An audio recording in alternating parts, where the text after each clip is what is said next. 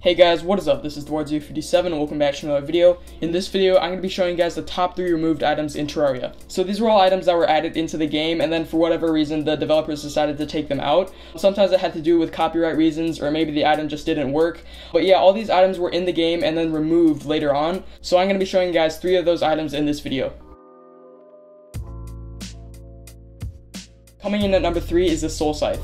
So this is a pretty distinct looking weapon. I'm pretty sure you guys have seen this before. I'm gonna put the stats on the screen right now just so you guys can check them out. The Soul Scythe was introduced in the 1.2 update. This item was actually never obtainable and what that means is that you can never get this through normal gameplay. So you could only get this item through inventory editing or mods. This actually was a reference to a different show like an anime or something like that. And that was the reason why this was actually removed in the 1.2.2 update. It says on the wiki that it was removed due to copyright reasons. So it's possible that the show just didn't want the item in the game so they decided to take it down. When they removed the soul scythe, they actually erased it completely from the game code. If you guys don't know, every item has an item ID, and they erased the item ID for the soul scythe and they replaced it with the red potion. So if you tried to inventory edit it back, you'd only get the red potion um, because it's been completely removed from the game. So yeah, it's now completely removed and no one can get it anymore, uh, even through hacks and mods and stuff like that. But it was a great weapon, a lot of people liked it, and it still is one of the better weapons that were removed.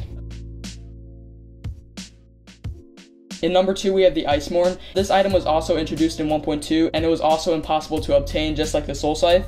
It was removed in 1.2.4 for actually multiple reasons. One of the reasons was because it was never usable. It actually didn't have any stats because um, I guess the developers just didn't give it any stats. So even though you could get it um, through inventory editing and you could like use it and it had like some animations and stuff like that, it never had any stats. So if you tried to like kill an enemy with it, it wouldn't do anything because the game just like didn't let it. It didn't have any damage, it didn't have any knockback or anything like like that. If you look on the wiki, there actually are stats for this weapon now, but I can only assume that those were added after it was removed because it says on the wiki that it had no stats when it was in the game. And the second reason that it was removed was because it was actually a reference to a Warcraft series by Blizzard Entertainment. Apparently, they made the Icemourne look really similar to a sword that was in the series, so I'm pretty sure that Blizzard didn't like the item in the game. Um, so yeah, that's another reason why the developers decided to take it out. So the Icemourne was basically removed from the game for the same reasons that the Soul Scythe was. So yeah, most of these items were actually in reference to something else. So that's mainly why the developers decided to take these items out of the game.